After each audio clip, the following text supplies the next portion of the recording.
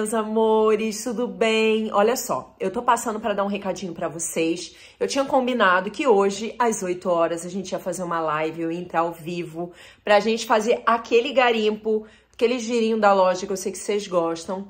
Mas hoje, gente, é véspera de feriado, o bar que fica do lado da minha loja, é, ele ia começar a fazer barulho super cedo, às 7 horas da noite. E para mim é super desgastante é, ficar falando super alto para vocês conseguirem ouvir, enfim. Então eu achei mais prudente a gente transferir esse vídeo para amanhã.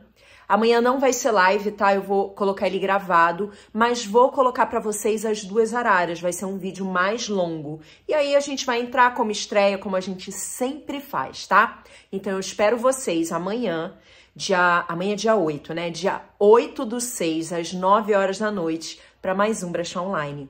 Um beijo.